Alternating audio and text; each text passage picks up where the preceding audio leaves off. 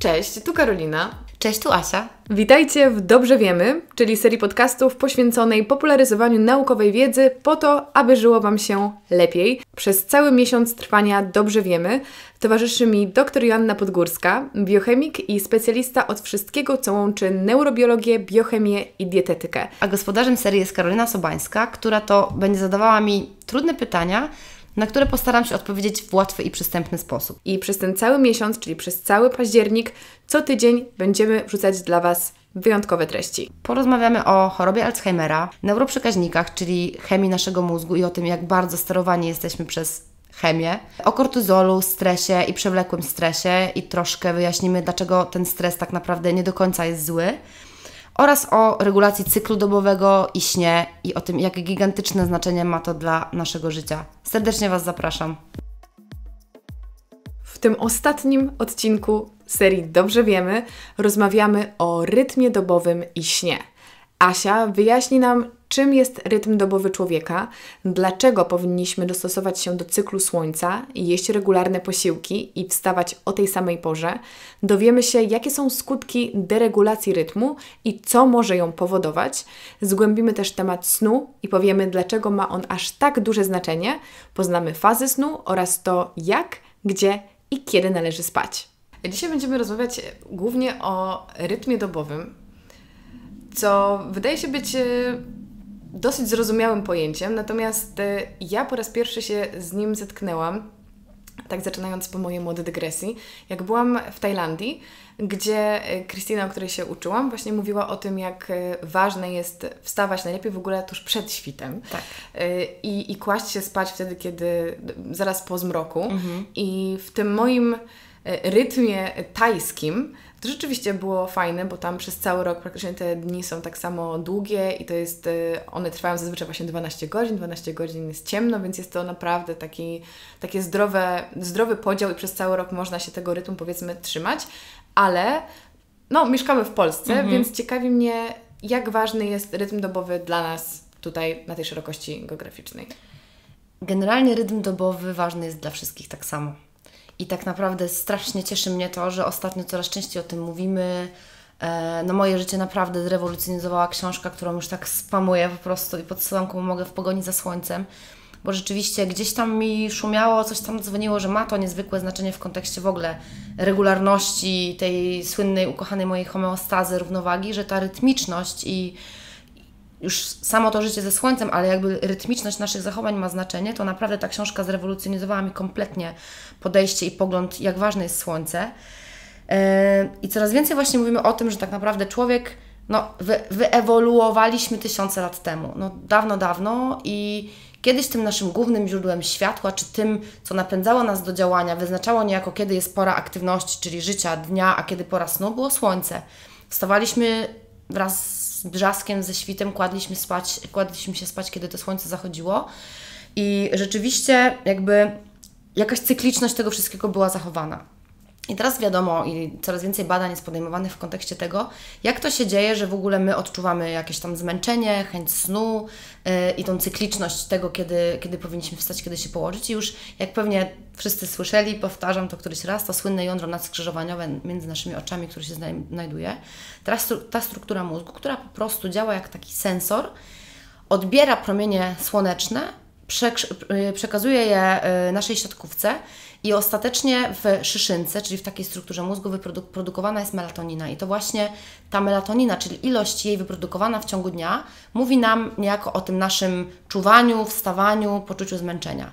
Drugim takim elementem, który związany jest właśnie z tym rytmem dobowym, jest miernik, tak, tak naprawdę ja mówię, że to jest taki barometr zmęczenia, czyli ilość wytwarzanej przez nasz organizm adenozyny to jest taka substancja, która wytwarza się tak naprawdę, możemy sobie wyobrazić tak, yy, wiesz, yy, na chłopski rozum, że im dłużej jakby żyjemy w ciągu dnia, im więcej czynności wykonujemy, męczymy się, działamy, no wytwarzamy energię, tej adenozyny robi się coraz więcej.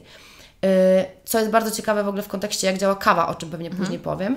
Natomiast to są takie elementy, które rzeczywiście e, jakby w jakiś stopniu nastrajają nas w kontekście działania, wstawania i funkcjonowania z, w ciągu 24 godzin, czyli słońce i wytwarzanie melatoniny i to poczucie zmęczenia, czyli wytwarzanie adenozyny przez, e, przez e, nasze komórki. Mm, I teraz to, co ciekawe, w ogóle skąd my wiemy, że jest ten rytm dobowy, te 24 godziny. Y, nie wiem, czy wiesz, ja niedawno się w zasadzie, znaczy wiedziałam o doświadczeniu, które było dla mnie super ciekawe i kiedyś pamiętam, jak mieszkałam w Hiszpanii, to chciałam je ponowić, ale po obejrzeniu filmu Dark zrezygnowałam. Otóż było to doświadczenie w jaskini, przeprowadzone, to chyba był 30 30, początek, końcówka lat 30., y, coś na, na przełomie 30. a 40. ubiegłego wieku. Dwóch y, naukowców postanowiło na 32 dni zamknąć się do jaskini i sprawdzić, jak tak naprawdę my jesteśmy w stanie e, funkcjonować, no bo mówimy o rytmie okołodobowym, ale jak my jesteśmy w stanie funkcjonować bez słońca? Czyli naprawdę jak ta melatonina będzie wytwarzana, skoro Aha, to ona tak naprawdę. i nie wychodzi Dokładnie, z niej przez 32 dni U. i nie mieć ze sobą żadnych elementów, które mogłyby wskazywać jakkolwiek nam, sugerować, nie wiem, zegarek, telewizor, CB radio, cokolwiek, co mogłoby wskazywać kontakt od rodziny, jaka jest w ogóle pora dnia, cokolwiek, co się dzieje w przestrzeni.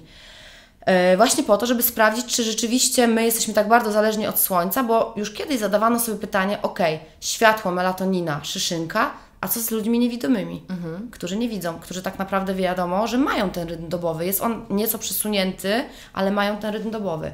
I co się okazało? Okazało się, że ci ludzie, tych dwóch badaczy, zamkniętych na te 32 dni, totalnie odcięci od, bo to było bardzo głęboko, gdzieś chyba w Kentucky, w jaskini, w wielkich czeluściach głębokich, gdzie nie było kompletnie dostępu do światła. Okazało się, że mimo tego, że tego światła tam nie było, byli oni w stanie funkcjonować około 24 godzin. To znaczy, że to był cały czas taki cykl 15 około godzin czuwania i 9 godzin snów. Właśnie mówimy, dlatego się mówi rytm okołodobowy, mhm. bo to było około 15 godzin y, czuwania, 9 godzin snu, z angielskiego circadian rytm.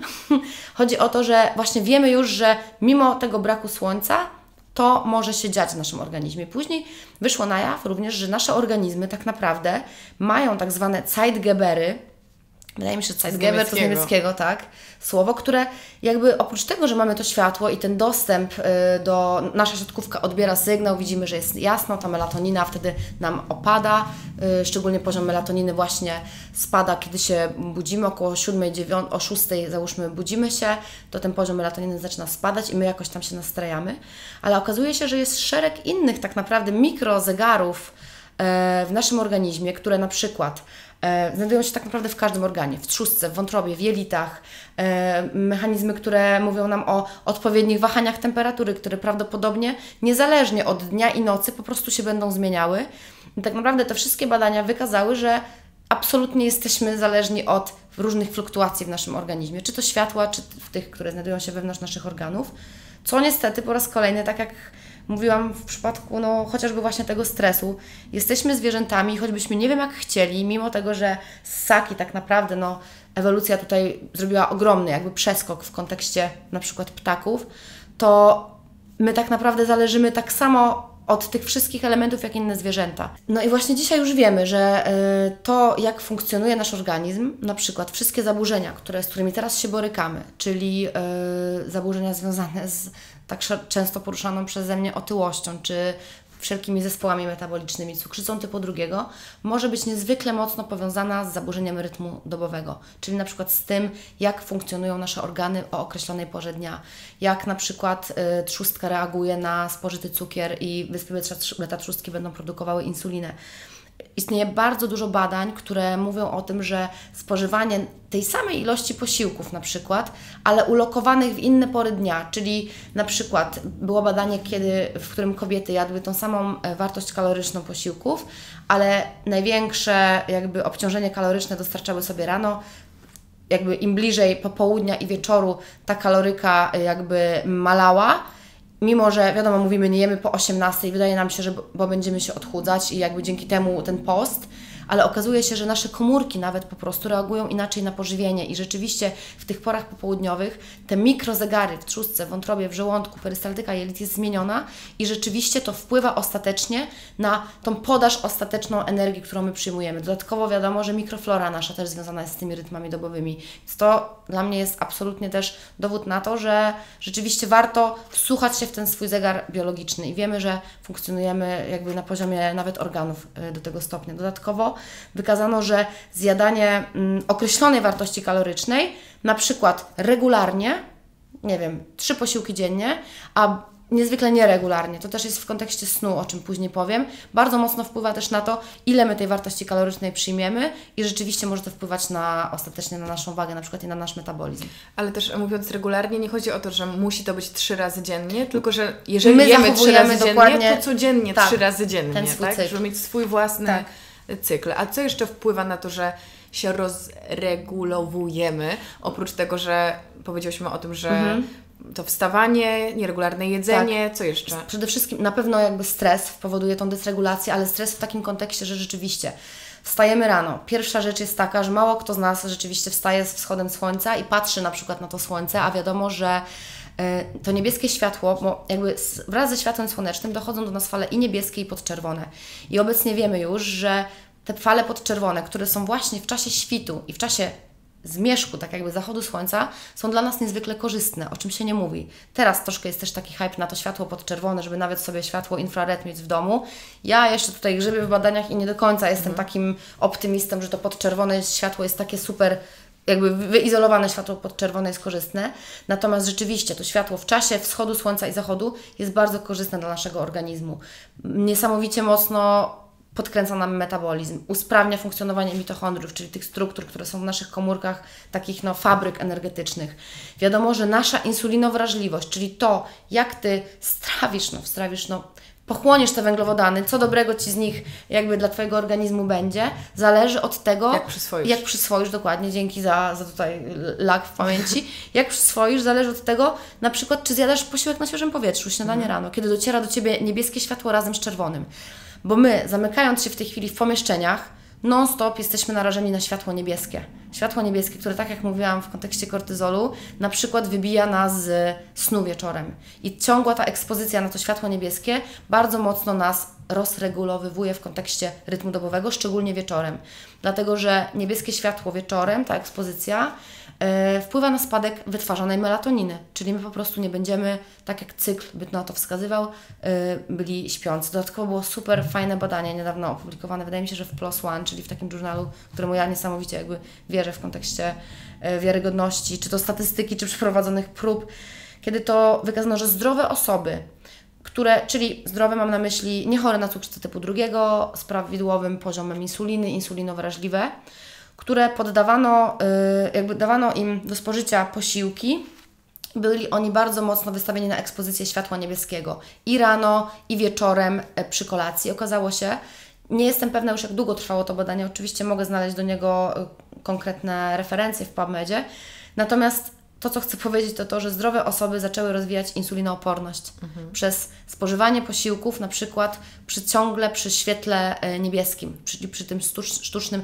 nasłonecznieniu, nas, no właśnie nie nasłonecznieniu, przy sztucznym świetle. Jak bardzo to wpływa na glikemię, na poziom glukozy. Ale tutaj czy to się odnosi po prostu do ekranu, czy też do światła? O, o, chodziło o światło, które mamy też, e, światło sztuczne. oświetlenie w tak, domu. oświetlenie LED i na przykład okay. to było też tak, że y, bardzo duża ilość ekspozycji na tablecie, na komórkach, generalnie jak to wpływa na chociażby nasz metabolizm i naprawdę tutaj jakichś takich niedowiarków odsyłam www.pubmed.com czy NCBI, jak sobie wpiszemy, że właśnie światło e, LED, światło niebieskie, blue screen i insulin sensitivity czy glikemia, jest mnóstwo badań na ten temat, więc to bardzo, bardzo mocno w tej chwili jest ugruntowane. Ale też e, warto zwrócić uwagę, że świat się zorientował, że jest takie zagrożenie i już domyślnym ustawieniem w iPhone'ach tak, jest to, jest, że to światło jest blokowane. Dokładnie, można sobie e, założyć, jakby skorzystać z tej aplikacji, która jest super, uważam, na ten, ten blok światła niebieskiego, również są takie nakładki, więc chodzi mi o to, żeby war, warto, żeby zwrócić uwagę, że rzeczywiście to światło niebieskie, które jest samoistne, bo w świetle słonecznym ono jest razem z tym podczerwonym, jest dla nas szkodliwe. I tutaj jakby największe takie pokłosie tego wszystkiego, myślę, że odzwierciedleniem tego są, jest praca zmianowa. I tutaj badania, które są podejmowane w tym kontekście, no właśnie z, między innymi w książka w pogoni za słońcem mi to tak nakreśliła, ja potem zaczęłam troszkę sobie w tym grzebać mocniej. Wiadomo już, że pracownicy zmianowi, niestety szczególnie mocno dotyka to kobiety, ale dotknięte są otyłością, cukrzycą typu drugiego.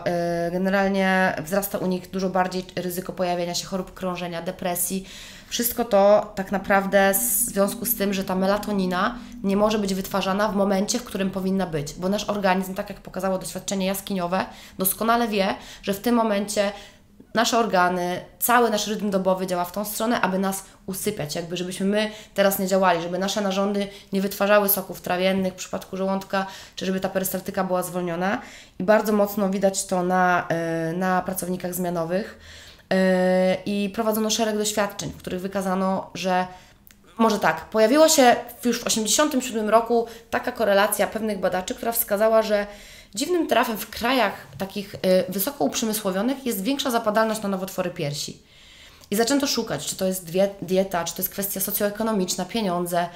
I jakby wspólnym mianownikiem do tego wszystkiego było to, że są to miejsca, w którym częściej jest podejmowana praca zmianowa w fabrykach. I okazało się, że rzeczywiście tak jest, że melatonina, która nie jest wytwarzana w odpowiednich pikach, w odpowiedniej ilości w przypadku osób y, podejmujących pracę zmianową, niesamowicie mocno skorelowana jest z nowotworem piersi u kobiet, dlatego że melatonina działa jako anty, działa antykancerogennie. Mhm. Okazuje się, że mniejszy poziom melatoniny bardzo mocno koreluje z rozwojem e, nowotworów piersi. Jest to też mocno związane z estrogenami u kobiet i w tej chwili już wiadomo, że tak jest i nawet WHO gdzieś tam krąży, nie wiem jak teraz wygląda ten status, ale do zakwalifikowania pracy zmianowej jako jednego z czynników kancerogennych. Co więcej, w Danii, z tego co wiem, chyba 2007 czy 2008 rok, zaczęto wypłacać odszkodowania kobietom podejmującym pracę zmianową, jeżeli rozwinęły nowotwór piersi. Czyli jakby wiemy, jak mocno jest to, jest to skorelowane. Tutaj szczególnie e, taki gen PER2, akurat konkretnie ten gen, e, stwierdzono, że polimorfizm tego genu, który związany jest z regulacją cyklu dobowego, był zmieniony u kobiet, które zapadały na raka piersi. Zresztą Nobel z medycyny i fizjologii dwa lata temu, 2017, czyli to byli badacze, którzy w działali w kontekście tych wszystkich elementów molekularnych yy, związanych z cyklem dobowym, między innymi badali ten gen, yy, w skrót per od period i wykazali, jak mocno jest to skorelowane. Więc no myślę, że to są elementy, które po prostu są niezaprzeczalne. Tak samo w przypadku spożywania właśnie posiłków nieregularnie, yy, o pewnych porach takich nienaturalnych dla naszego organizmu, no później pokłosiem tego są te wszystkie choroby metaboliczne, o których mówiłam, czyli widzimy jakie to ma, jakie to ma znaczenie. Powiedziałaś o pracy zmianowej, ale wiesz co mnie ciekawi? Czy na przykład weekendy mhm. nie są trochę taką naszą pracą zmianową? Jaki to ma wpływ? Że nawet jeżeli wstajemy na tę samą godzinę od poniedziałku do piątku, ale w sobotę, w niedzielę zupełnie inaczej funkcjonujemy, czy to też nam Wiesz jakoś co, zaburza? jakby tutaj w kontekście, bo tutaj mówimy o pracy zmianowej w kontekście światła stricte, mhm. prawda? Tutaj mówię o melatoninie i o tym, że rzeczywiście nasz organizm działa jak powinien spać, etc. Natomiast wykazano i coraz więcej mówi się o tym, że w ogóle nasze życie jest w pewien sposób tak bardzo rytmiczne i zmianowe, że nie wiem, cykl menstruacyjny to 28 dni i koniec, tak? Że częstotliwość skurczu serca też to jest określony czas, że yy, nie wiem, yy, o określonej porze na przykład nasze ciśnienie krwi wzrasta lub maleje. Mówi się nawet o tym, że pewne rzeczy, które mają miejsce w naszym życiu, mają cykliczność tygodniową. Mówi się coraz częściej o tym, że incydenty sercowe, to po pierwsze wiemy, że mają miejsce zazwyczaj rano, bo jest to związane właśnie z cyklem pracy serca i zmian ciśnienia, ale na przykład są częściej w poniedziałki. I z czegoś to musi wynikać. Mhm. Być może z tego, że jest to stres powrotu, wiesz. Ja miałam zawsze syndrom niedzielnego pakowania plecaczka. Mama mhm. oglądała Dr. Queen, czy tam na dobre i na złe, i to już był dla mnie znak, o Boże, trzeba pakować plecak, i człowiek idzie już z tym stresem, z, jak jest taka tydzień. cykliczność. Dodatkowo czytałam też takie, nie wiem na ile badania, na ile takie przesłanki, że większość surowych wyroków na przykład podejmowanych jest przez sędziów w poniedziałki. Czyli widzimy, jak bardzo my jesteśmy cykliczni i ta, to, to przyzwyczajenie nasze mimo byśmy chcieli, żeby tak nie było, mhm. tak mocno objawia się. Co więcej, ja jestem strasznie zafascynowana ostatnio, to się nazywa w ogóle cyklem bólu czy chronofarmakologią, która tak naprawdę zaczyna badać mechanizmy, które mogą wpływać, że ok, pewne leki będziemy podawać o określonej porze, bo perystaltyka jest taka a taka, bo nie wiem, jest więcej soków żołądkowych, czy na przykład y, tempo przepływu krwi jest inne. I na przykład już dzisiaj wiemy, że ze względu na wchłanialność aspiryna czy NLPZ, czyli wszystkie niesteroidowe leki przeciwzapalne. Ibuprom, Nurofen lepiej przyswajalne są rano.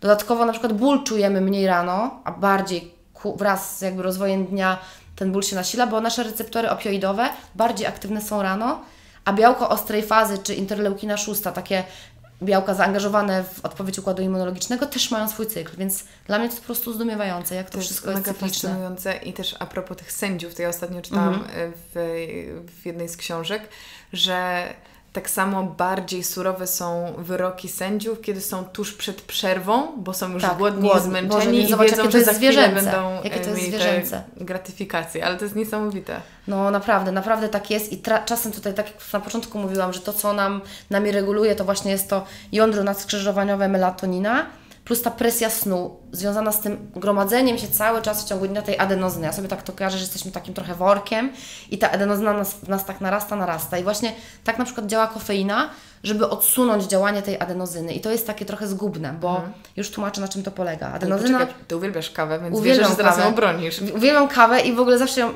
przede wszystkim ja kawę uwielbiam ze względu na walory smakowe, bo rzeczywiście, chociaż w sumie ostatnio nie śnię i może być tak, że ja piję kawę wieczorem, idę spać i zawsze mężowi mówię, że e, idę spać, w ogóle mogę zasnąć, ale na przykład być może odbija mi się to na moim śnie. Jak to działa? Otóż my sobie, nasz organizm naprawdę jest mądry i wytwarza tą adenozynę, żeby dać znać, ej koleżko, jesteś już zmęczony, dodatkowo ta melatonina, połóż się spać. I my pijąc tą kawę, która ma w sobie kofeinę, kofeina jest bardzo mocno zbliżona strukturalnie, no tutaj nie chcę wchodzić w szczegóły, ale powiedzmy, że może przyłączyć się do, te, do tego samego receptora co, ade, co adenozyna, czyli ten nasz wskaźnik zmęczenia. I teraz my wypijamy tą kawę, ona jakby przytyka ja to zawsze porównuję sobie, że zatykam y, y, uszy palcami. Ona przytyka nam te uszy i my nie słyszymy tego dźwięku zmęczenia. No i ta kofeina sobie działa, działa, ale ta adenozyna cały czas się w nas gromadzi. To nie jest tak, że my blokujemy działanie, y, wytwarzanie tej adenozyny. Ona się wytwarza, tylko receptor tego nie przyjmuje. No ale w końcu ta kawa przestanie działać. I wtedy mamy I wtedy jest I wtedy mamy ten zjazd. I wtedy my jesteśmy zalani po prostu tym zmęczeniem. I niestety jest to I takie... Wypijamy I wypijamy kawę. kolejną, którą kocham na maksa po prostu. I czasem myślę, że dobra, jakiś musi być kruczek w tym wszystkim, że coś będzie nie, niezdrowo, ale tak naprawdę nie chcę demonizować kawy, bo ma szereg, szereg naprawdę cudownych właściwości. Tylko tutaj, żeby zrozumieć, jak to działa. Dlatego właśnie, jak ja na przykład mówię, że a, wypijam sobie kawę wieczorem i to na mnie nie działa, to tak jak mówiłam w poprzednim naszym nagraniu, My czujemy efekt kawy około po godzinie, natomiast ten właśnie okres jej półtrwania, czyli kiedy połowa cząsteczek ulegnie rozpadowi, to jest te 7 godzin. Więc pomyślmy, że wieczorem, idąc spać, o tej drugiej, trzeciej, Ty masz jeszcze w sobie tą kofeinę i tak naprawdę to nigdy nie pozwoli Ci zapaść w tak dobry, solidny, quality, jakościowy sen. Mówi się, że 8 godzin dobrego snu wystarcza, żeby tą adenozynę nam całkiem z tego mózgu wyrzucić. Więc myślę, że to jest takie ciekawe w kontekście tego, że ten organizm nam cały czas coś pokazuje, to jest cykliczne, a my a, przytykamy go tą kawą. I tak sobie myślę, że tak naprawdę, jeżeli ktoś ma problem z zrozumieniem, w ogóle z regulacją tego cyklu, to to jest takie proste, żeby po prostu wiedzieć i zwrócić uwagę na to, że wystawiać się możliwie ile się da do tego słońca. I wiadomo, że mówimy, ostrzegamy przed tym promieniowaniem szkodliwym UVB, ale nawet chodzi o to, żeby wystawiać się do tego słońca i łapać po prostu to, to światło widzialne, to niebieskie w połączeniu z tym czerwonym, bo my zaraz i tak usiądziemy do pomieszczenia, będziemy cały czas wśród tego światła niebieskiego, więc w sumie chyba to nie jest trudne. A jeszcze powiedz mi takie kwestie jak na przykład podróże, o Boże, jetlag. No tak, to na maksa rzeczywiście nas rozregulowywuje i tutaj super, zapomniałabym o tym, a to jest tak ważne coraz więcej badań podejmowanych w kontekście stewardess i pilotów. Niestety, mhm. niestety, mimo że praca wydaje się może być fajna i, i na pewno jest interesująca pod wieloma względami, to wykazano i też już są na to jakby twarde dowody, że po pierwsze mają oni tak zaburzenie rytm dobowy i objawia się to i stresem, i stanami depresyjnymi i bardzo wiele osób, nawet szczupłych, zmaga się z insulinoopornością. Natomiast w kontekście mojego ukochanego mózgu liczne badania, które pokazują tak zwaną atrofię hipokampa, to co mówiłam, czyli zaburzenia pamięci, obkurczenie tej struktury i po prostu objawia się to takimi zdolnościami poznawczymi. Tak wpływa jetlag. I możemy sobie stosować melatoninę, która często stosowana jest rzeczywiście, jeśli mówimy o zaburzeniach snu, tylko pamiętajmy, że melatonina to jest tak jakby, ona rozpoczyna tą kaskadę snu. Ona daje znać, ej, organizmie idź spać. I ona może pomóc w jetlagu, bo rzeczywiście tu jest dysregulacja. Natomiast w chronicznych problemach ze snem melatonina nie pomoże, bo ona daje ten sygnał, ale na przykład w bezsenności może nie pomóc, bo to już jest inne spektrum. Natomiast w jetlagu jak najbardziej tak.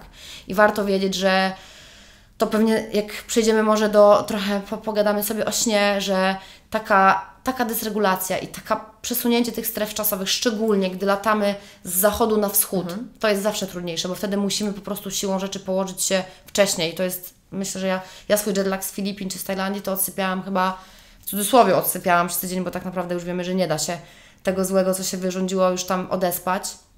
Mm, jest to trudne.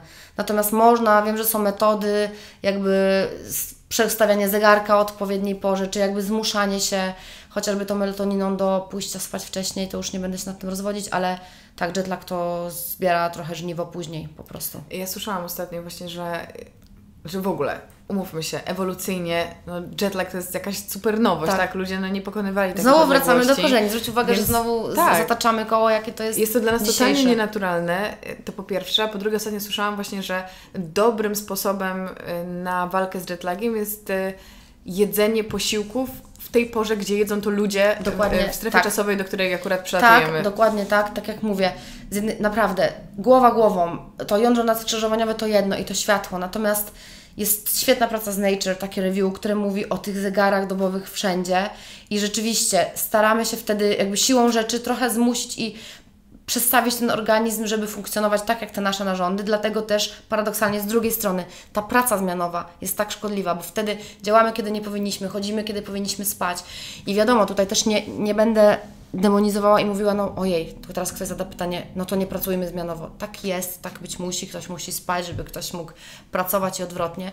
I istnieje coraz więcej, czytam na ten temat takich rozwiązań, które być może mogłyby pomóc na przykład w dużych koncernach, fabrykach, na przykład dobieranie, oscylacja natężeniem światła. Mhm. Na przykład wiemy, że pracownicy będą kończyć zmianę o danej porze, czyli coś, co będzie pozwalało trochę układowi nerwowemu się w jakiś sposób z tym zharmonizować, czyli granie z tym i po prostu no, pilnowanie nawet tych swoich pór posiłków o tej porze, której normalnie byśmy jedli, bo to niesamowicie mocno wyznacza nasz rytm dobowy. I zresztą widzę to też, yy, właśnie mamy teraz taki, wiesz, hype na yy, zdrową dietę, aktywność fizyczną i w ogóle, a przecież ludzie, i to też w tych wyspach długowieczności, o których tak mówiłyśmy kiedyś na naszym, wcześniej na naszym nagraniu, ci ludzie nie chodzą na siłkę, nie do końca wszyscy muszą trzymać się tych e, wyrzeczeń żywieniowych, ale mają bardzo dużą ekspozycję na światło. Częściej rzeczywiście żyją zgodnie z tym rytmem dobowym i na przykład trzymają się, moja babcia tak ma też, trzyma się określonych pór posiłków. Choćby nie wiem co, ma być obiad i będzie zjedzony o tej porze, mniej się podjada i jakby rzeczywiście zaczyna się czuć ten swój organizm, plus je się na przykład na świeżym powietrzu, tak jak mhm. mówiłam, ta melatonina, y, jakby ładnie słońce nam to wszystko reguluje, dodatkowo promienie słoneczne dają nam też tą serotoninę, więc reguluje nas to do działania korelacja jest ogromna i ja tylko czekam, aż naprawdę to się tak mocno ugruntuje w nauce, że to będzie pierwsze prescription, gdzieś tam, wiesz, e, recepta od lekarza, a nie od razu na przykład leki przeciwdepresyjne, tylko taka terapia na przykład wystawić się trochę na słońce, czy zacząć zjadać posiłki na słońcu. E, I właśnie też to jest taki, mówi się o elementach na przykład, które usprawniają w kontekście diety ketogenicznej wejście w stan ketozy i takie czynniki proketo. No to na przykład właśnie bardzo duża regulacja cyklu dobowego, która usprawnia glikemię, bo tam wiadomo, że walczymy z tym, aby ten cukier był stosunkowo niski, a te ciała ketonowe były wysoko i to jest jeden z elementów, więc no myślę, że petarda, wiedza, która teraz tak naprawdę do nas wychodzi i jest taka dosyć pop, bo jest łatwo, łatwo to zrozumieć. Tutaj nie mhm. musimy wchodzić głęboko w te wszystkie procesy, żeby zrozumieć, jakie to ma znaczenie i po drugie to też nie jest tak jak ze skomplikowanymi przepisami, że musimy mieć rzeczy, których nie mamy w kuchni. My to wszyscy mamy. No, mamy, mamy słońce, mamy jedzenie, ale co z tym snem? No właśnie, i to jest clue, tak naprawdę element kluczowy. W ogóle też uważam, że to jest kolejne cudowne 5 minut teraz i ja jestem strasznie zafascynowana yy, właśnie somnologią, bo zobaczyłam, że to jest w ogóle nauka o śnie okay. i teraz nawet tak, tak, biolodzy zaczynają tak odpocz odpoczkowywać, neurobiolodzy, tak sobie myślę, czy tak się na starość tym nie zajmę w ogóle, no i w ogóle to jest, to jest super ciekawe zagadnienie i jakby ostatnio z niesamowicie ciekawego wykładu e, doktora, e, Boże, Boże, Boże, żebym nie zapomniała, Prusakowskiego z WPS-u, którego bardzo, bardzo lubię, dowiedziałam się, że tak naprawdę w ogóle zagadnienie snu i pojęcie snu to było już w czasach, wiesz, starożytnych, chociażby, nie wiem, w starożytnej Grecji, nie wiem, wyrocznia delficka służyła nam do tego, że to, co Ci się przyśni, jakby sen totalnie ma odzwierciedlić y, jakieś przepowiednie. Mhm. Czyli jakby mam nadzieję, że mój dzisiejszy no, sen mi się nie spełni, bo tak, miałam, miałam straszny sen. Czy Arystoteles na przykład mówił, że e, organizm ma w sobie takie wapory, czyli jakby gazy ulatniają się nam w ciągu dnia ze zmęczenia i te gazy ostatecznie jak taka anestezja nas będzie usypiać. Czyli mm. zobacz w ogóle jak pięknie literacko jeszcze to było dopowiedziane, ale już tam interesowali się ludzie. Zresztą w ogóle myślę, że ludność starożytna to była trochę nawet mądrzejsza niż my teraz, ale my, wiesz, teraz wychodzimy do tego wszystkiego. I właśnie Freud też mówił, tak, że sen to jest po prostu klucz człowieczeństwa, że ludzie jako pomijając fakt, że ssaki już śnią, ale ludzie, tak naprawdę te nasze sny są tak kolorowe i tak naprawdę prawdopodobnie wskazują bardzo mocno na naszą podświadomość i prawdopodobnie są po to, abyśmy nie zapomnieli o naszych pierwotnych instynktach, czyli nie wiem, ktoś nas goni, uciekamy, jakieś wiesz, elementy, które na co dzień może nie do końca się z tym wszystkim spotykamy, ale mają w jakiś sposób zbodźcować nasze neurony czy sieci neuronalne, żebyśmy po prostu kolokwialnie nie zapomnieli. No i to jest, wiesz, już, już taka zajawka, jakby jakie to ma znaczenie dla naszej ludzkości i człowieczeństwa. Natomiast rzeczywiście yy, absolutnie wiemy, że nie ma też, że sen to jest jakby podstawowy element też w kaskadzie, która prowadzi do chorób i zarazem jest kluczowy dla wszystkich zachodzących w organizmie procesów. I czy to tutaj mówimy o tworzeniu neuroprzekaźników, jakby zacznę od neuro, czyli na pewno wiemy, że tworzenie neuroprzekaźników, dla, dlatego jest kluczowy sen, o którym zaraz pewnie myślę, że powiem o, o fazach snu, bo to jest ważne, żeby to rozróżnić i zrozumieć, ale i tworzenie neuroprzekaźników, i, i czyszczenie mózgu, tak zwany. Mm, Wiemy, że w naszym organizmie działa układ limfatyczny, tak? który zbiera te wszystkie brudy, zarazki, wirusy, jakieś e, elementy uszkodzonych komórek i oczyszcza nasz organizm, na przykład w trakcie choroby, tak? Mamy powiększone węzły chłonne, to jest po prostu odpowiedź organizmu. To wiemy już teraz, że w mózgu działa tak zwany układ glimfatyczny, czyli działa on przede wszystkim wtedy, kiedy śpimy, kiedy noradrenalina jest nisko, to nasze komórki glejowe mogą zacząć tam pompować, zwiększa się przestrzeń e, śródnaczyniowa i zbieramy właśnie innymi złogi beta-amyloidu, jakieś źle pofałdowane białka z mózgu i oddajemy go do naszej chłonki. I tu mówię w kontekście tego dlatego, że wiemy, że jednym z elementów rozwoju choroby Alzheimera jest deprywacja snu na przykład. Ludzie, którzy nie dosypiali, którzy źle spali. Nie mówię o osobach, które mają taki chronotyp, czyli na przykład są z kowronkiem i śpią krótko, ale o takich, którzy nagle zafundowali sobie duże deprywacje snu, jest to rzeczywiście coś, co predysponuje na przykład do uszkodzenia mózgu. Oprócz tego wszystkie nasze procesy myślowe, to, że myśli, myślimy trzeźwo, że nie mamy tak zwanego tego brain fogu, mgły mózgowej, mocno są skorelowane w ogóle z, ze snem. Yy, I tak naprawdę, no, mimo tego, że będziemy łykać medykamenty, czy pić tą kawę, o czym mówię, zatykać sobie tą adenozynę, to dzisiaj wiemy, że tak naprawdę no to jest klucz. To powiedz, jakie są fazy snu, mhm. ile trwają i czemu służą? Mhm. Czy wszystkie są nam zawsze potrzebne? Tak, teraz już też wiem, że absolutnie nie można tu powiedzieć, co jest ważniejsze i rzeczywiście tak, jest szereg jakby różnych, e, że tak powiem, Boże, podziałów czy klasyfikacji, ale jakbym tak się miała skupić funkcjonalnie, co jest ważne, no to Przede wszystkim wyróżniamy fazę snu NREM, czyli Non-Rapid Eye Movement, czyli ta, ta faza snu, w której nie ruszamy, nie ruszamy gałkami e, ocznymi na boki i to jest tak zwana faza snu głębokiego i fazę snu REM, w której właśnie obserwuje się ten bardzo gwałtowny ruch gałek ocznych i to zostało zaobserwowane z tego, co mi się wydaje u małych dzieci. E, w ogóle, no bo wiadomo, badacze po prostu jak robili przeważnie doświadczenia, to po prostu podpinali coś tam do głowy i wychodzili, no bo kto by myślał, żeby patrzeć na osobę, która śpi. Tymczasem okazało się, że... Patrzeć tak, patrzeć, zamknięte patrzeć oczy. na zamknięte oczy, dokładnie. I chyba pewnie jakiś przypadek, jak to zwykle, nie wiem, z odkryciem penicyliny, czy jakichś genialnych e, rzeczy zdarzyło się przez przypadek, no zaobserwowano, że istnieją fazy aktywności mózgu, w której po pierwsze niesamowicie zmienia się ta częstotliwość, a po drugie coś się dzieje z gałkami ocznymi. No i właśnie, tak jakby wracając do początku. Najpierw mamy fazę snu, taką, która nas wycisza, generalnie pomaga w zasypianiu i zasypiamy, wchodzimy w to. To, jest tak, to są tak zwane fazy snu alfa, które tak jak mówiłam właśnie też często mówi się, że w medytacji trochę te fazy alfa nasz mózg potrafi wejść na, na taki stan wyciszenia yy, i wejścia w, w, w sen.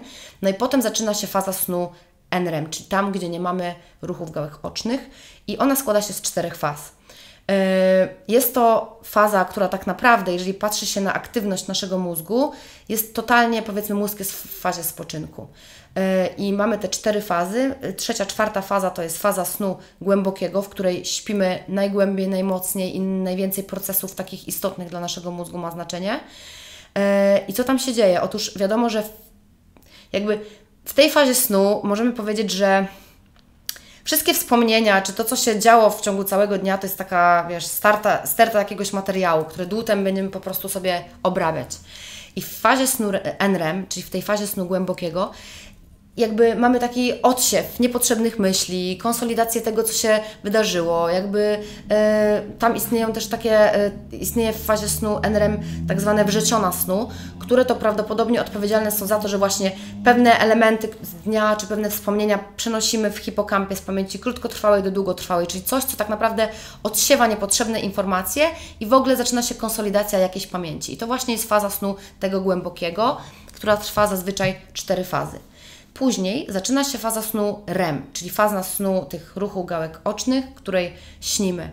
To jest w ogóle dla mnie najbardziej fascynująca faza, ponieważ okazuje się, że tak naprawdę tylko ssaki i ptaki wyróżniają tą fazę snu REM. I jest no, niesamowicie ciekawa, po pierwsze przez to, że śnimy, po drugie przez to, że jest to faza, w której tak naprawdę wszystkie te elementy, które uzbieraliśmy sobie i jakby odsialiśmy, mhm. powiedzmy w fazie snu NREM, teraz jakby zbieramy do, do kupy, do całości. Dzięki tej fazie snu REM wytwarzamy nasze emocje, zdolność kojarzenia faktów. To się gruntuje jakoś w tych naszych szufladach już po tym jakby pierwszym odsianiu. Więc faza snu REM jest niesamowicie ważna dla takich, dla naszej emocjonalności, dla właśnie mówię, kojarzenia sytuacji. I co, co jest niezwykle ciekawe, y, w tej fazie snu jesteśmy, jakby po czym poznać, że człowiek jest w fazie snu REM? Kompletna atonia, czyli tutaj co jest paradoksalne.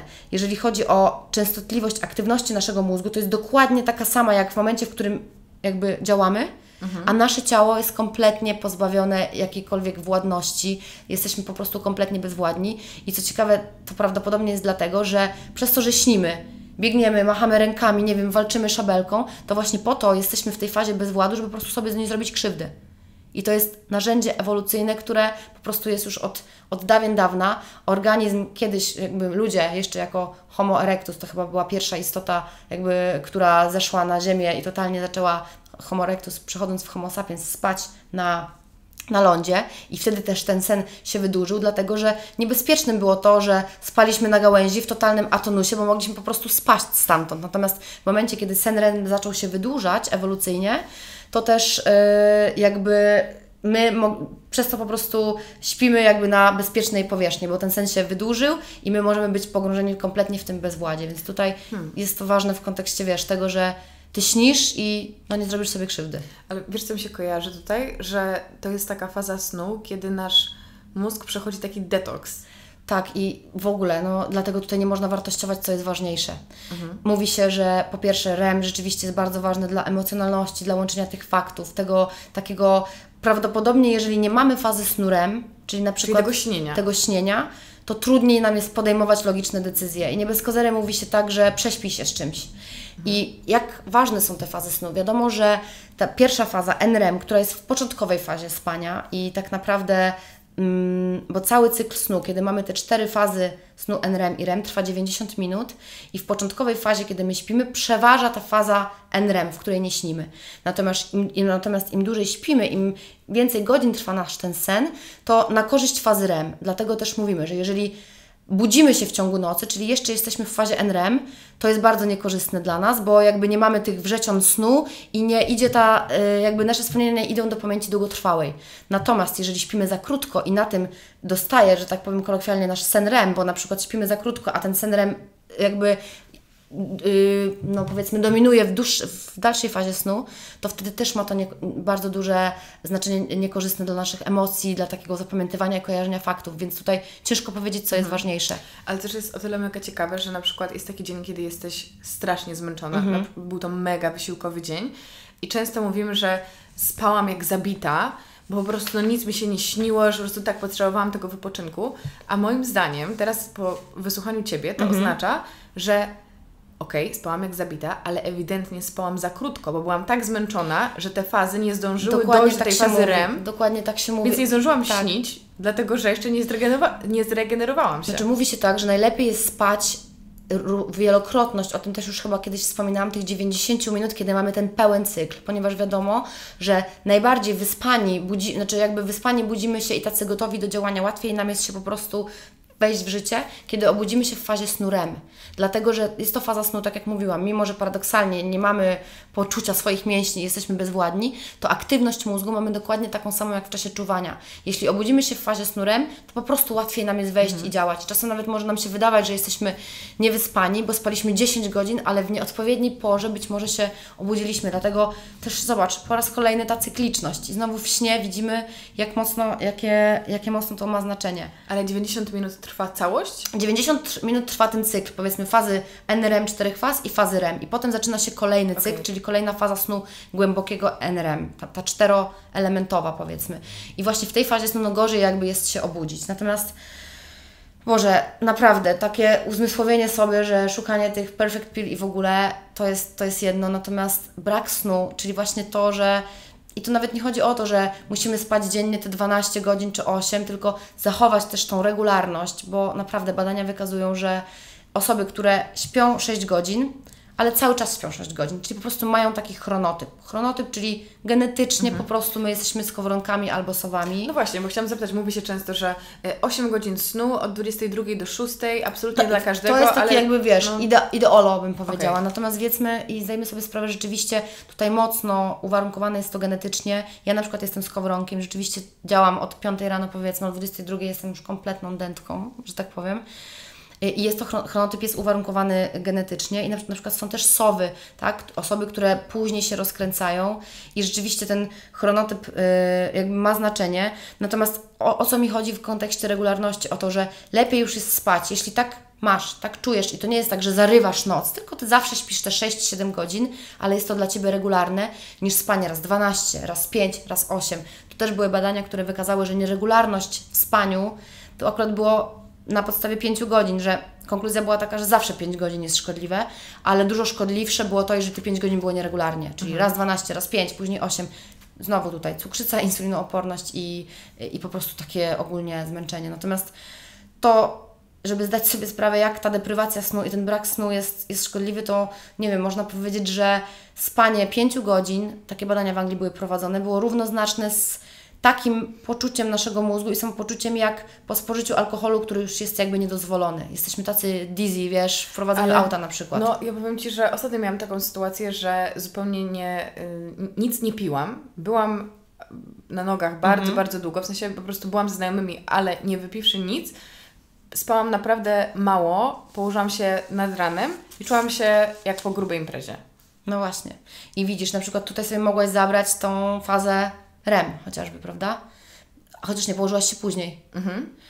Położyłaś się później, no to no właśnie, chodzi o cykliczność, ale też właśnie tutaj chodzi mi o to, że jeżeli my na przykład budzimy, kładziemy się późno, a wstajemy za wcześnie i myślimy, dobra, urwałam tylko godzinę z tego snu, ale może urwałam tą fazę REM, która jakby była kluczowa, wiesz. Dlatego też coraz więcej mówi się o tym takim społecznym jetlagu, niedopasowaniu ludzi do tego, jak żyje świat. Na przykład wiemy, że te chronotypy wraz z wiekiem się jakoś tam zmieniają. Na przykład, że osoby starsze, tutaj też się dewaguje, czy to jest zmienność taka po prostu let it be i tak musi być, czy jakieś zmiany, na przykład, które dzieją się w mózgu, mogą na to wpływać. Natomiast osoby starsze wykazują ten chronotyp taki, że śpią krócej, wstają wcześniej.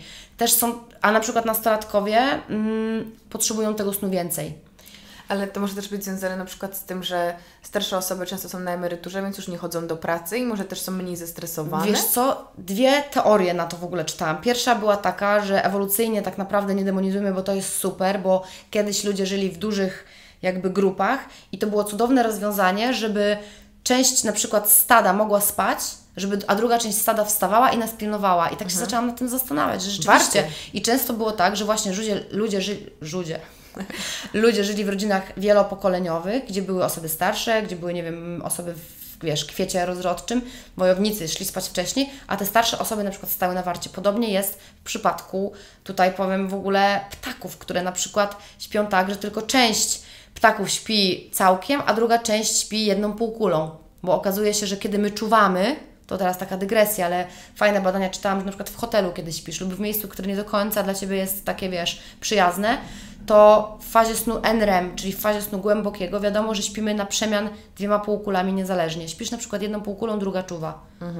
I w ogóle wiesz, tak w kontekście tego, dlaczego starsze osoby, mówię, to są tylko hipotezy, ale daję taką ding, zajawkę, że fajnie by pośledzić, poczytać coś na ten temat. Ale wracając do nastolatków, na przykład wiemy, że ten chronotyp w jakoś tam w ciągu życia się zmienia i rzeczywiście oni, y, ta grupa ludzi ma taki chronotyp, że jest bardziej sowami. I zaczyna się już myśleć w takim kontekście, głównie w Skandynawii tutaj, która wydaje mi się być prorozwojowa, żeby może zaczynać lekcje później, na przykład w wieku, nie wiem, tam 16-17, kiedy zaczynamy o 8, nie wiem, matematykę i naprawdę większość tych dzieci, młodzieży śpi. Może by bardziej to dopasować, może bardziej, jakby wiesz, nie czuć się takim wyobcowanym, bo rzeczywiście widzimy, jak jesteśmy zmienni pod tym kątem. Oczywiście mówi się, 40% z nas to skowronki, 30 sowy, 30 sowy, reszta tam są, są pomiędzy, ale takie zagadnienie gdzieś tam jakoś się, jakoś się yy, pojawia. Wiesz co, chciałabym wtrącić taką dygresję, może nie jest to związane ze snem, ale teraz przyszło mi to do głowy, a propos ćwiczeń Mhm. e, i tego, że każdy ma jakieś swoje predyspozycje genetyczne. E, Ostatnio słuchałam o tym, i to była właśnie była, był wywiad z autorem książki o, o śnie, o którym Matthew roz- Walker chyba, tak? Uwielbiam tą książkę i w ogóle Tak, jest, ja jej nie no, czytałam, ale słuchałam y, wywiadu z nim, który był bardzo, bardzo inspirujący. I on tam powiedział, że też kwestia ćwiczeń i tego, której, o jakiej porze dnia Mhm. ćwiczysz, jest bardzo indywidualna, ale przy większości osób ćwiczenie zaraz po wstaniu wcale nie jest dobre. I to mnie bardzo zaciekawiło, Tak, tak, bo tak, tak. ja ostatnio bardzo chciałam zmotywować siebie do biegania Mhm. i stwierdziłam, że jedyny sposób, żeby to zrobić, to po prostu wstać rano i zanim zdążę zmienić zdanie, to się ubrać i wyjść. I powiem Ci, że udawało mi się to robić bardzo regularnie, ale było mi mega ciężko, bolały mnie nogi, y, ledwo po prostu ruszałam kończynami i to było strasznie nieprzyjemne. I pamiętam, y, kiedyś wracałam z obiadu u dziadków, bo piękny wieczór, wieczór, no powiedzmy godzina 18 i pomyślałam sobie, a w sumie to może bym poszła biegać. Tak w ogóle wiesz, impuls. wtedy to pomyślałam sobie, i pomyślałam sobie, dobra, pójdę, w ogóle szok, że mi się chciało, więc skorzystam z tej okazji i czułam się, jakbym miała tyle siły, że po prostu mogę biec i biec. Ale jesteś wzorcowym przykładem, bo jakby powiedzmy, że robi się takie analizy, która pora jest na co najlepsza. Na przykład, nie wiem, że 22 to już ruchy perystaltyczne jelit zanikają, więc nie jedzmy. 12, 13 jesteśmy super kognitywnie ogarnięci. Mówi się, że 17, a 19, ja to też teraz wdrażam u siebie, jest super porą na aktywność fizyczną. Jakby nasze mięśnie mają najwięcej, są dotlenione, mają Chce dużo krwi, chce im się. I rzeczywiście, no, słuchajmy siebie. Ja też tak mam czasem po prostu, dobra, odbębnie to bieganie, odbębnie tą jogę, odbębnie ten trening rano, a nie do końca wtedy czuję się rozciągnięta, nie do końca czuję się, wiesz, że to jest ten, e, ten moment. Natomiast no, myślę, że to wszystko warto mieć na uwadze i w takim, wiesz, swoim kontekście indywidualnym do tego podejść, nie? A powiedz mi jeszcze w kontekście, wracając oczywiście do snu, bo to była, to była krótka wzmianka o ćwiczeniach. Czy jest, y, są jakieś takie zasady, jak spać, jak sobie tę jakość snu podwyższać? Wiadomo, że pewne, jakby nasz grafik dnia nie zawsze jest zależny od nas. Jasne. I moje pierwsze pytanie będzie takie, czy można trochę tutaj pokombinować i na przykład kładąc się spać, u, nastawić sobie budzik, chociaż wiem, że z budzikiem też jest, to jest osobny temat, nastawić sobie budzik na wielokrotność tych 90 Tak. minut. Znaczy, powiem Ci tak, są w ogóle te apki, które jakby wiem, że tam działa na zasadzie chyba żyrometru, czy tam ruchów, badania i w ogóle, które budzą Cię o określonej porze. I ja tak się zawsze zastanawiam, bo to jest dla mnie już taka ingerencja mocna, że nie wiem, iPhone leży mi ko- koło mnie, emituje na mnie. Tak, i 100 czy- czy tych to fal, Ci jest dobrze, fajne. no. Poza tym, na ile to do końca śledzi mój sen, a sen mojego męża, który śpi obok, więc też nie do końca temu ufam. I rzeczywiście no naj, najfajniej, najszczęśliwiej by tak było. Natomiast to, co Ci mogę powiedzieć, żeby wiesz, przestawić się i żeby coś mnie budziło z tą wielokrotnością. Tylko no mówię, ja na przykład, oczywiście jak mam ważne wydarzenie, nie wiem, konferencja, coś nastawiam budzik, ale ostatnio naprawdę z ręką na sercu zauważyłam, że budzę się za dwie siódma, dzień w dzień i tak ustawiłam sobie po prostu zawsze zegarek i sama się budzę. I wiem, że to brzmi trochę jak szamanizm jakiś po prostu, ale odkąd sobie wieczorem, codziennie przed spaniem mówię dwie rzeczy.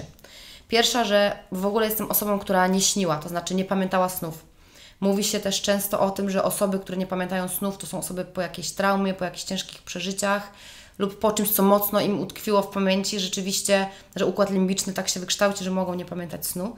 Natomiast jak widać, można to odczarować, bo ja mówię sobie o tym, że będę pamiętała sny i pamiętam te sny, naprawdę. Dzisiaj zresztą Ci opowiadałam, że Mhm. tylko staram się je od razu zaraz zapisać, bo to jest tak, że mam przy łóżku i zapisuję. Druga rzecz jest taka, że naprawdę czuję moment w życiu, w którym bardzo jestem sama w sobie uregulowana. Naprawdę jem te, wiesz, wiesz że jestem na IF-ie, więc jakby posiłki to jedno. Czuję, że te moje organy jakby gra, to wszystko gra i budzę się, mam ten awaryjnie nastawiony budzik, ale budzę się sama. Więc jakby i czuję, i mam, i budzę się w śnie REM, bo czuję, że budzę się w trakcie snu. Ale oczywiście myślę, że można skorzystać sobie z takich narzędzi, żeby spróbować, zobaczyć nawet, wiesz, self-case study zawsze dla mnie to jest złoty standard. Zobacz, jak Ty się będziesz czuła, bo to też nie chodzi, żeby być więźniem.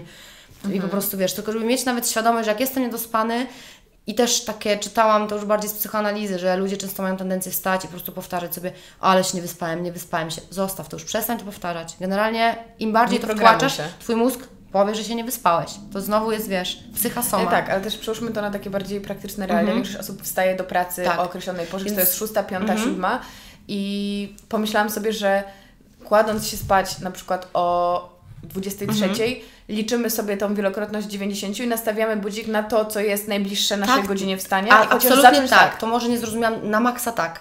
Na maksa z tym okiem, takim okiem. Oknem 30 minut nawet, bo też wiem, że te wszystkie apki typu Sleep, coś tam e, tak działają, że budzą Cię o tej porze powiedzmy na podstawie częstotliwości Twojego oddechu czy coś. Tak, jak najbardziej. Wybudzenie się w fazie snu REM, kiedy tak jak mówię, aktywność Twoich fal mózgowych jest taka sama lub nawet 30% większa szacuje się jak w czasie, kiedy Ty działasz, działasz aktywnie, pozwoli Ci od razu wejść, wiesz, jak, jak taka petarda trochę w dzień. Natomiast jak pytałaś o te elementy, które myślę, że są kluczowe dla tego dobrego snu, tak. to wszystko krąży wokół trzech rzeczy. Te elementy, które będą dla dobrego snu, będą też dla regulacji cyklu dobowego, bo jest to niesamowicie mocno skorelowane. To samo będzie dla regulacji kortyzolu i stresu, czyli przede wszystkim niebieskie światło, czyli to, co mówiłam w przypadku stresu, też w przypadku rytmu dobowego. Starajmy się niwelować tą ekspozycję wieczorem na niebieskie światło. Jeśli już musimy coś zrobić, sprawdzić maila, to załóżmy sobie ten, ten, tą apkę na blue screen, czy po prostu na te godzinę, dwie nie. A, a słuchaj, a film, telewizor tak samo? Wiesz co, właśnie, ja to muszę sprawdzić w tym kontekście, bo wiem, że tam są emitowane inne fale w zależności jaki telewizor. Natomiast to jest dobre pytanie i tutaj nie chcę być jakaś, wiesz, gołosłowna. Sprawdzimy i napiszemy Napisemy, napisemy. Y, natomiast to niebieskie światło, żeby mieć tego świadomość i naprawdę korzystać z tego światła czerwonego, które jest w czasie świtu, w czasie zachodu słońca. To są naprawdę fajne narzędzia, które mamy, mówię, na wyciągnięcie ręki. E, więc... Nawet mam wrażenie, że takie światło poranne jest trochę jak taka ładowarka. Tak, wystawić, Bo nie szczególnie to- zimą, bo nie wiem, to jest Ci takie to mówiłam, jak byłam teraz w Edynburgu, to było w lutym, zrobiłam sobie tygodniowe wyzwanie, że wstaję o 6. No to był, był luty, więc wiadomo, e, Mhm. Ciemno. było dosyć ciemno. Natomiast już świtało, kiedy ja się budziłam e, niebawem i powiem Ci, że oczywiście ten moment wstania był dosyć e, Mhm. traumatyczny, ale czułam tyle energii. Tak. Od rana, bo otwierałam żaluzję i patrzyłam, że właśnie zaczyna się robić różowo Mhm. i nie mogłam, to było tak magnetyzujące w ogóle patrzeć na to, nie, mogłam od, w ogóle wzroku odwrócić i miałam tyle energii od rana, że wbrew pozorom wstałam te kilka godzin wcześniej, a byłam tak naładowana, tak właśnie produktywna i tak chciało mi się robić rzeczy, że polecam. No to jest naprawdę uważam, no, cudowne narzędzie, Boże, i, i takie za free. Wiesz, po prostu możesz to robić wszędzie, więc na pewno to niebieskie światło. E, drugim elementem, tak jak też mówiłam w kontekście, mówiliśmy o stresie i o tym spaniu, że to jest ważne. E, temperatura w sypialni. To jest naprawdę, naprawdę ważne, żeby wietrzyć sypialnię, żeby mieć taką, wiesz, no świeżość, lepiej się śpi w takiej temperaturze i tak jak mówiłam, nie gnieździć się w tym łóżku, kiedy nie chce nam się spać, tylko poczekać, aż ten sen przyjdzie i naprawdę czasem taki jakościowy sen, nawet nam się może wydawać, że 6 godzin spaliśmy, niż 8 godzin wiercenia się zrobi lepiej po prostu ogólnie dla, dla snu, dla, ym, dla naszego organizmu. I tutaj taki, nie wiem, właśnie Karola, ciekawa jestem, co Ty na ten temat sądzisz, bo są różne teorie. Alkohol. Czy Ty myślisz, że właśnie pomaga, czy...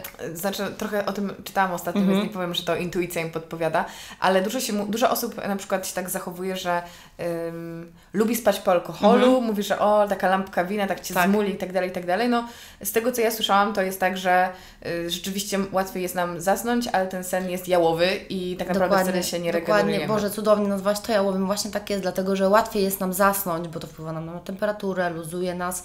Natomiast jeśli chodzi o jakość snu, to Dokładnie tak, bo alkohol wpływa na fazę REM, czyli na tą fazę snu, kiedy śnimy po pierwsze, po drugie, kiedy jest właśnie taka, wiesz, emocje się tam wszystko lokuje, układa się wszystko w głowie. Naprawdę, no czasem decyzje, których właśnie nie możemy podjąć, to dziwnym trafem rano jesteśmy olśnieni, bo to robi faza REM. Co więcej, tu też badania trwają, więc ja nie chcę, żeby był taki twardy osąd, natomiast wykazuje, wykazano, że po pierwsze, faza snu REM prawdopodobnie dotknięty, jest to element, który ma duży związek na przykład z autyzmem, mhm. że osoby, które, dzieci, matek, które y, rozwinęły odwrotnie, matki, które spożywały alkohol y, w czasie ciąży, na przykład ciężko mi tu mówić, czy lampka wina. Chodzi o to, że wpływ tego alkoholu, więc tutaj dokopię się do tego. Natomiast te dzieci mogły mieć zaburzoną fazę REM w czasie ciąży, a wiadomo, że nieprawidłowy czas fazy REM, nieprawidłowa częstotliwość fal mózgu wtedy może w jakimś stopniu predysponować do zaburzeń związanych ze spektrum autyzmu, dlatego że w tej fazie snu również ma miejsce synaptogeneza, czyli tworzenie się synaps, czyli tych miejsc, w których działają neuroprzekaźniki. Całe w ogóle przewodnictwo i myślenie ma miejsce. I wiadomo, że w autyzmie część synaps, synaps jest nadpobudliwa, część nie, że tam emoc emocjonalnie jest dosyć duża mieszanka i duży chaos na tym poziomie i może mieć to związek właśnie z fazą snurem i na przykład pokłosie spożycia alkoholu, więc ten alkohol wprowadza nas y, w stan rozluźnienia, ale jakość snu Nope, absolutnie to nie. To w nie raczej niczemu specjalnie dobrze. nie służy, więc tu nie ma co tak, zachwalać. No. no. więc dobra, alkohol. No i kolejna rzecz, tak jak mówiłam o tej zatykającej nam uszy adenozynie, czyli ko kofeina. Nie, no na pewno nie wpływa to dobrze w tych późnych porach popołudniowych. Ja niestety, ale wiesz co, kupiłam sobie kawę bezkofeinową i piję inkę. Taką zbożową? Taką zbożową i w ogóle Jakobs też ma lokowanie produktu. No i kolejnym elementem, jak i w przypadku kortyzolu, czy właśnie tego chronicznego stresu, czy rytmu dobowego, jest to, abyśmy sobie stworzyli dobre nawyki. Czyli po prostu nie chodzi o to mi i nie chcę być tutaj właśnie hipokrytą w kontekście tego, że y, dieta pudełkowa, czy jedzenie na czas jest złe, tylko to, żeby wykształcić sobie tak jak wykształcamy w sobie złe nawyki, to wykształćmy po prostu dobre. Starajmy się jakby znaleźć swój taki złoty środek, czyli chodzić o określonej porze y, spać, o określonej porze wstawać, y, jakby słuchać swojego organizmu. Wiesz, chodzi o to, że cała ta cykliczność i regularność tak naprawdę no jest na wyciągnięcie ręki, jeżeli my sobie zadamy pytanie i zaczniemy wsłuchiwać się w swój organizm. Czyli chociażby z tym, żeby najpierw zmuszać się skłaść spać wcześniej, a później rzeczywiście to wchodzi w nawyk. Ja przynajmniej tak mam. A powiesz nam na koniec, e, jak u Ciebie wygląda ta regularność, o której Ty chodzisz spać, o której jesz, podzielić się takimi swoimi hakami? Yy, ja mam, no mówię, zależy czy mam na przykład w dany dzień ten IF, czyli Intermittent Fasting, to zazwyczaj... No załóżmy, że tak. Dobra, okej, okay, no to muszę zacząć wtedy od kolacji. No powiedzmy, że zjadam ostatni posiłek o 17, e, już sobie potem nic tam nie jem, generalnie nie trenuję też wieczorami jakaś książka, spacer, yoga. Okej, okay, yoga jeszcze robię wieczorem, to może tak, czy tam wyjdę sobie na, nie wiem, na longboard z mężem, coś takiego, wiesz, luźnego. Staram się kłaść o 22, 23. E, I rzeczywiście przeważnie śpię do 7, więc jest to 8 godzin. I rzeczywiście, tak jak wspominałam, ja budzę się ostatnio bez budzika, więc myślę, że naprawdę osiągam taki, zadowolona jestem z tego. E, więc jeżeli zjadam o 17, to około 9.30, 9 jem śniadanie.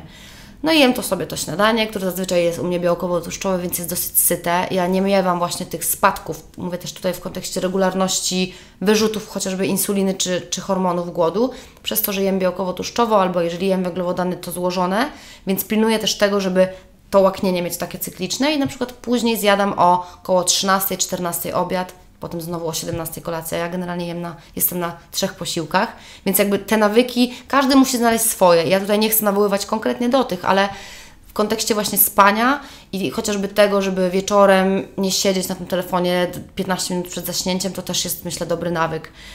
Kolejnym elementem jest to, tak jak zawsze mówię, dieta mm, i aktywność, dieta i suplementacja. Tutaj jeśli chodzi o dietę, to Tutaj również bez zmian. Uważam, że dieta przeciwzapalna, bogata w kwasy tłuszczowe, bazująca właśnie na dobrych węglowodanach, nieprzetworzona, im mniej chemii, im mniej konserwantów, tym lepiej ogólnie dla całego organizmu, bo, bo to też wpływa bardzo mocno chociażby na te wszystkie rzeczy, które są związane z deprywacją snu. Jeżeli sen już nam powoduje cukrzycę typu drugiego, otyłość i te wszystkie rzeczy, kurcze, choroby XXI wieku tak naprawdę, to dietą pomóżmy sobie jakby z tej drugiej strony. To samo, jeśli chcielibyśmy pomyśleć o konkretnie dedykowanych jakby mm, temu dobremu y, spaniu suplementów. Sup to samo, jeśli chodzi o dobór suplementów. Tutaj możemy również mm, wybrać konkretne elementy, które mogą ten sen nam wspomóc, dobre zasypianie. Na pewno jednym z nich jest melatonina, tylko tak jak zaznaczałam, melatonina Przede wszystkim badania już wykazują, że przynajmniej ja nie spotkałam się z takimi, które mówiłyby, że ona uzależnia, czy że jakoś działa niekorzystnie, tylko stosowana rzeczywiście w sytuacji, kiedy my mamy problem z tą regula regularnością, na przykład w momentach jetlagu. Ona na pewno nie pomoże na chroniczną bezsenność. Tutaj na pewno trzeba szukać głębiej. Mm, ale włączenie takich, tych samych elementów tak naprawdę jak przy przewlekłym stresie, czyli przy podwyższonym ciągle kortyzolu, L-teanina, GABA, ashwagandha czy glicyna, taki aminokwas, który, e, który hamuje układ nerwowy, magnez w określonych formach szczególnie. Przede wszystkim ja zawsze nawołuję, żeby to były sole organiczne magnezu, ale tutaj szczególnie glicynian i taurynian, który to blokuje po prostu aktywację receptoru dla receptora dla glicynianu, czyli dla tego aminokwasu neuroprzekaźnika, który nas pobudza. Spożyty wieczorem magnez w tych formach rzeczywiście działa tak uspokajająco, wycisza. wycisza. W przeciwieństwie, tak jak mówiłam e, kiedyś, do treoninianu, magnezu, który to właśnie działa jak tako, taki nootropik i pobudza układ nerwowy. Też te dwie formy magnezu szczególnie. Też możemy dodać właśnie, że te naturalne sposoby są spoko i nie chodzi nam tutaj o leki nasenne, bo to Absolutnie, nie jest nie. Znaczy ja uważam, że to już jest naprawdę w Stanach, jeśli przypisuje taki lek neurolog, lekarz, jakby ja tutaj nie chcę wchodzić w, w kompetencje, jak najbardziej tak, ale wydaje mi się, że w dzisiejszych czasach coraz częściej sięgamy po to po prostu bez żadnej recepty. Mówię, głównie leki przeciwdepresyjne i te leki nasenne, też benzodiazepiny działają podobnie. Naprawdę zawsze później będzie jakiś efekt uboczny tego tak jak podkreślam zawsze, ta aktywność fizyczna jest niesamowicie ważna, szczególnie rano lub w tym oknie, tak jak mówiłyśmy w kontekście cyklu dobowego, ta 16, 19 bardzo dobrze wpływa na, y, na um, układ nerwowy i na to, żeby ten sen był, żeby ten sen był dobry. Oprócz tego no też działa bardzo, bardzo dobrze, nie chcę się powtarzać, ale na, całe, na cały układ nerwowy w kontekście BDNF-u produkowanego czy NGF-u, tych czynników, które dobrze działają na nasz mózg, czyli zapewniają nam równowagę a co za tym idzie też lepszy sen. No i tak jak wspominałyśmy o tym kontrolowaniu czasu snu. Warto po prostu mieć na uwadze, że te 90 minut to rzeczywiście jest ten cykl, po którym, jakby, który jest pełny, który kończy się fazą REM, w której warto się obudzić, żeby wejść na te pełne obroty, chociażby ze względu na tą samą aktywność albo większą mózgu, jak w czasie czuwania. Czyli to są wszystko wskazówki, które są jak najbardziej do zrobienia i myślę, tak że myślę. taka wymówka, że żyjemy w innym miejscu na świecie, gdzie może to być trudniejsze, bo te dni są raz krótsze, raz dłuższe, jest tylko wymówką, mm -hmm. bo nie mamy robić jest tego idealnie, zimą, na pewno trzeba się trudniej. próbować jakoś dostosować. Jasne. Ale właśnie masz jakieś takie wskazówki, jak zimą sobie Wiesz pomóc? co, no zimą na pewno, okej, okay, przede wszystkim co wykazało, znowu, doświadczenie jaskiniowe mówi nam, że światło jak najbardziej tak i to na pewno nam daje serotoninę i, i usposobienie i jakby chęć działania, ale rzeczywiście zachowanie tej cykliczności, bo ja mówię, Jedyne co, to mogę powiedzieć na sobie, na swoim przykładzie, bo takich badań też nie prowadziłam, natomiast sugeruję się, czy to literaturą, czy, czy najnowszymi jakby doniesieniami, że ta cykliczność życia i zachowania, jakby mówię, w kontekście jedzenia, jakichś pór określonych, takie swoje rytuały, o których często mówimy, bo ja też bardzo jestem człowiekiem, który lubi rytuałów wspólnego jedzenia, nie wiem, określonych rzeczy o danych porach, też jakby to wszystko usprawnia, żeby nie było tej deregulacji. I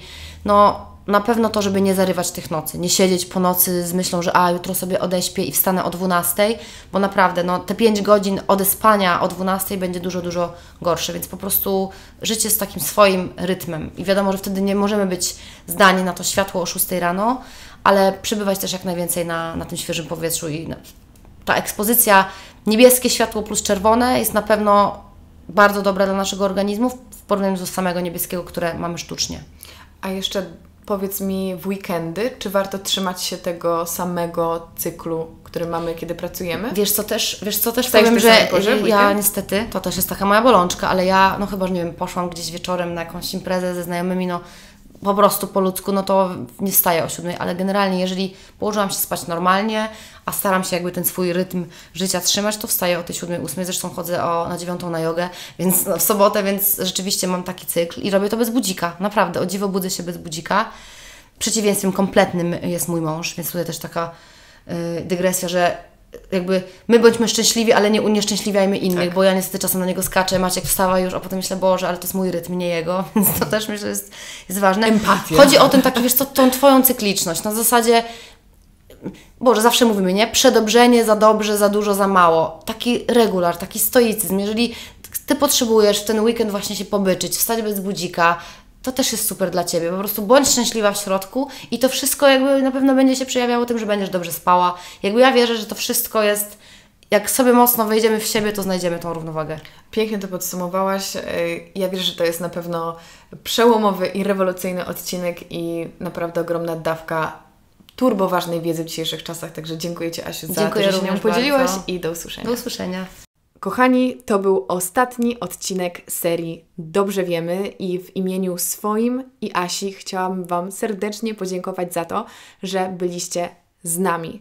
Rozmawialiśmy o stresie, o neuroprzekaźnikach, o chorobie Alzheimera, dzisiaj o śnie i rytmie dobowym i jest nam mega, mega miło, że byliście przez ten czas z nami. Nadal czekamy na Wasze opinie, nasze wrażenia. Też zdaję sobie sprawę, że są osoby, które może właśnie na ten odcinek trafiły jako pierwsze, także oczywiście Was odsyłam do tych poprzednich. To był wspaniały, naukowy i bardzo, bardzo ekscytujący, wyjątkowy dla mnie miesiąc tutaj w podcaście.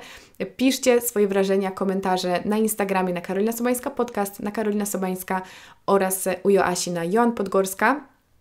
Też Wam te linki oczywiście zostawiam. Pod podcastem na YouTubie również porozmawiajmy, wymieńmy się wrażeniami, ale też e, podcast oczywiście jest dostępny na Spotify czy na iTunesie i też przypomnę, że będzie mi bardzo miło, jeżeli zostawicie recenzję i opinie mm, na iTunesie, jeżeli słuchacie na iPhone'ach lub na Waszych Macach. Jest to naprawdę bardzo, bardzo pomocne dla mnie, bo to promuje podcast, sprawia, że trafia do większej ilości osób, a jednocześnie wydaje mi się, że jeżeli coś się nam podoba, to super jest to szerzyć dalej. Moje podcasty nadal będą ukazywały się w każdy poniedziałek o godzinie 7, ale tutaj kończy się seria Dobrze Wiemy. Jeżeli chcielibyście zobaczyć mnie, usłyszeć mnie jeszcze raz w duecie z Asią. Mnie usłyszycie, ale jeżeli chcecie usłyszeć też Asię, dajcie nam koniecznie znać, bo Wasz feedback jest dla nas najważniejszy, ale jeżeli dotrwaliście do teraz, to mogę Wam powiedzieć, że to nie koniec naszej współpracy i już niedługo